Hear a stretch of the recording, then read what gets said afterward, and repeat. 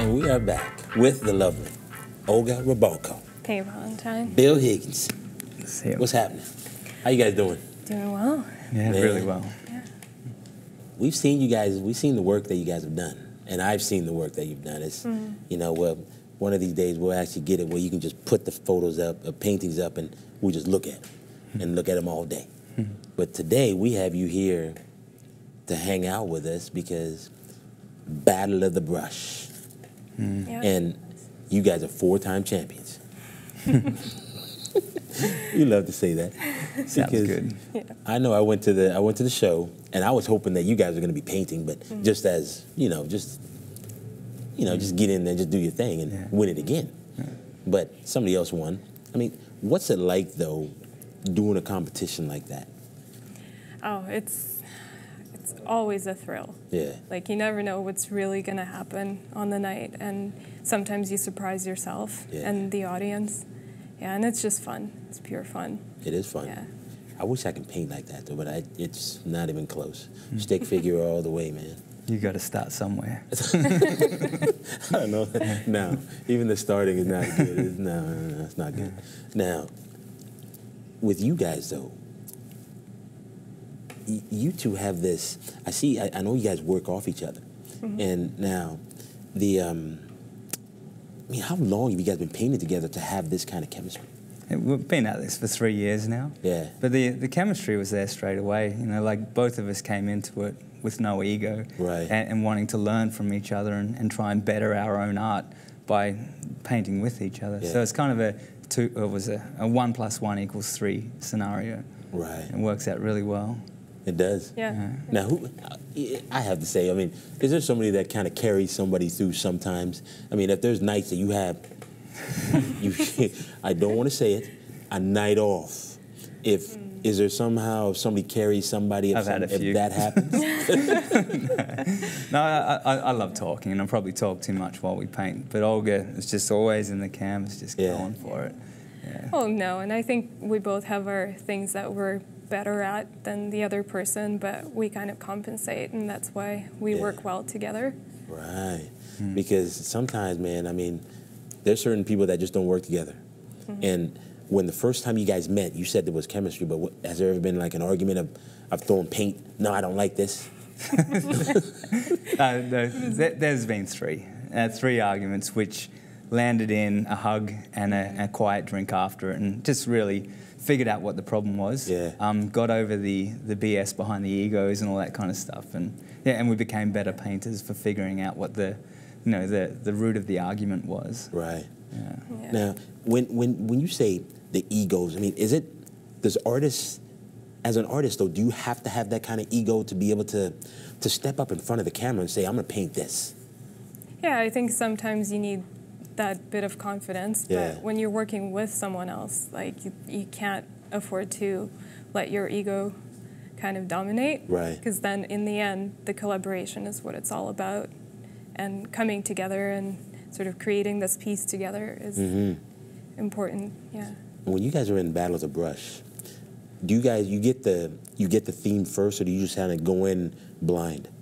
We get the theme about a month in advance. Okay. So yeah, we can we really get to talk about it and you know So you figure out what we're research, you kind of, you, are you researching together or just kind of like, just saying, okay, hmm, I'm just gonna uh, maybe do this, do this, and then you run it by each other? tell them what to do. Yeah. it's like, I like blue. Oh, you like red? Oh, well.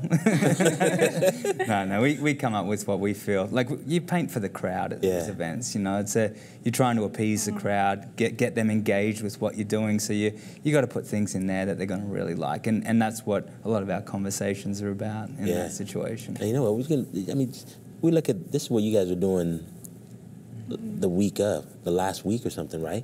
Yeah. And now, when you guys are painting this, for you guys, what, what style? I mean, what style of painting do you do you like to do? Well, that's kind of the fun part. I'm a surrealist and very much a, into realism, which takes multiple hours. Whereas, you know, um, Olga's a deadly live painter, so it's uh, she paints at a, a high level of speed. So we, we, and Olga has her own styles as well. Yeah, I, I'm more of an impressionist and Yeah. kind of I like to play with color and punch that up. And Yeah, so Yeah, so it all just comes together. Yeah. Yeah. Now, who'd you who'd you guys study coming up and, and to be artists though? Um, I did go to university, but I also took a whole lot of classes and Mhm. just learning from other artists. And I think that's the best way is to learn from people who are Yeah. experienced and they've done the hard yards and you know made all the mistakes. Yeah. Yeah, no, I agree with that. Yeah, you, you find pockets of older artists hanging around, but they're the Mhm. ones that have made all the mistakes already. So you, you latch onto them and find out what mistakes they made, and, Exactly. and then don't make that mistake. Right. Yeah. Now, coming up though, I mean, there's Andy Warhol.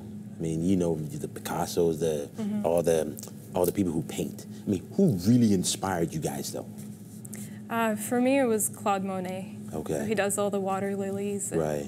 Yeah, he's the big impressionist. Yeah. Yeah, that, he was my favorite. Nice. And um, Salvador Dali, actually. Okay. yeah, just just twisted. You know, the mind is just in another place, and trying to get to the absolute depths of imagination and see what you can drag out of there. Now, you know, it, as an artist though, sometimes it's, it's, I mean, there's got to be some craziness going on in there, man, to be to be able to get to this stuff on, on a canvas.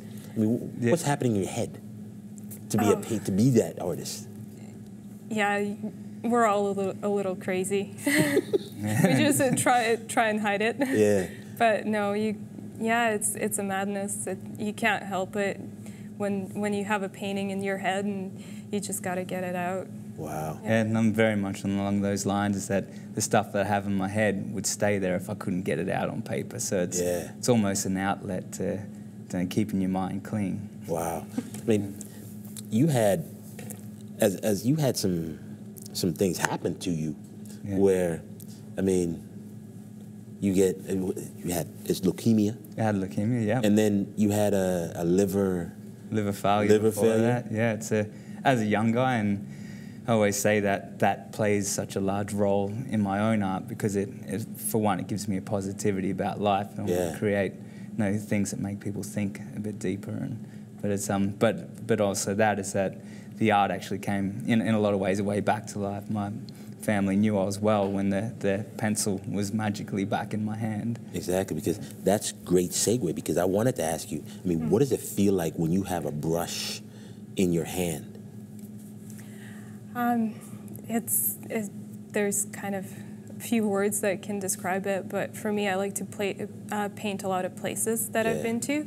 And sometimes when I'm painting, I just get in the zone and it's like I'm there again. Like I can hear the sounds and, you know, the beach washing up on the shore. And yeah, it's, it's kind of a meditation. Nice. Yeah, it's just a zone. I always remember a time. It's like when you wake up in an apartment or a, you know, a hotel where you've, you've never been before, and that first like 10 seconds when you wake up in the morning, you don't know where you are. Yeah. Sometimes you come out of a canvas, pull your head up, it's like all the light changes around you, and you, oh, oh I'm in my studio. It's just, it, it's a zone. It's an amazing place. It's a meditation. And, and I mean, and, and I always say it's a life worth fighting for. Right. Because you know what? I mean, for you being in that kind of situation now, and you know about his situation, mm. I mean, does it give you guys kind of the the uh, something to draw back on when you say, okay, I'm in a tough spot. You know what? I've been in tough spots before. I can we can come out of this. Yeah, I think so. And he inspires me in a lot of ways to Yeah. just kind of get over it and keep painting and figure out a way to to get through it. And yeah, Yeah. yeah. You know what? And, yeah, and that's the fun part about the live art that we do is that you know with the whole um, event painting that we do together, by the end of the show, you know the clients already bought the artwork. We can't, we can't not finish the artwork. So Exactly. there's always this this insane little battle to try and find out the right answer in such a short period of time, just like Yeah. the Battle of the Brush, 80 minutes. You know, there's there's an answer at the end of it, and we've got to find it if we haven't found it during it. So Exactly. Just got to get it, get the answer out somehow. Wow. Yeah. Let me get you the on the grind question. I mean, there's lots of people who go to school to be artists, and but there's also people who want to be artists who are out there, and they just can't find their way, or nobody's helping them. What can you guys tell them to inspire them to become, you know, the artists that you guys are? Well, I I have a pretty hard line about this these days. I mean, art is what life worth fighting for, but Yeah. it's also a decision that you have to make that you choose the life of art. So, the moment an artist has an excuse, they can almost take a step backwards. You know, it's a, it, th there is no excuses when you're in the arts. You have to go for it, and you Yeah. have to create a life based around it. And and quite often you'll find that you know a lot of your buddies are out having a drink on a Saturday night, and you're you know like still hooking into a canvas in your studio trying to get to the next level. It's, Yeah. It's, it's not a nine to five job. it's a it's a life decision. That's an everyday thing. Yeah, it is. Oh yeah. my goodness. Yeah. Now, what's it gonna take to beat you guys? It's Well, the four-time champion, man. Yeah, well, we're always getting better, you know. So we, we like to think that we're going to keep going that way, right? Yeah, Are you guys gonna be in the next uh, the championship uh, in February or something like that? When it- it'll come around a, a little bit later in like quite a few years' time. Like Yeah. so, we won the culmination of four years, and and um, and and so yeah, then have to go through another period of those four years to get to another competition that we can enter into. Okay. Yeah. Now, what's next for you guys? Um, well, we actually have a show coming up this Thursday Okay. where both of our artworks are going to be displayed next to Salvador Dali's, Really? which, Hmm. yeah, it's, Where? it's going to Where? be. It's at the Vancouver Club, and it's the Black and White Art Affair. Wow. Yeah, Okay. it's pretty special. Yeah. That's- that's so big- there's going to be a big- lo- that's a big live deal. auction, and yeah, it's going All your paintings, or Uh, everybody else, uh, other There's people? 20 artists. Okay. And we're lucky to be Yeah, yeah, included in that. So Wow. yeah Yeah. step by step, right? Step by step. Yeah. yeah. Showing next to my hero on Thursday night. yeah. Yeah, so Wow. pretty special. I wish you was there to say good day and you know exactly. and say how you doing, but it's a, You know yeah, what? Good enough. You've already made it, man. Work. You made it. Yeah. I want Well, to thank you guys for coming. Thanks Miss for having Olga us. Rabal- Rabalco. Rabalco. I'm going to get it right. thank you. I can't get Ben Higgins wrong. yeah, I did, but I say shit and I said, No, it's beautiful. it's Bill. yeah. but hey, man, I want to thank you guys for coming. You guys do some fabulous work, and keep winning, because I want to talk to you guys each and every time you win. Yeah. Okay. we want to thank my man Wes Mackey for coming out, and again, the album "Life's a Journey." Go ahead and take one because you know we on the grind, and you know who this is. I'm your man Valentine, baby. And if you think it's your time to shine, you need to get on the ground with your man Valentine. Olga Rabalco, Bill Higginson, I'm Valentine, Wes Mackey. You know how we do it. We out.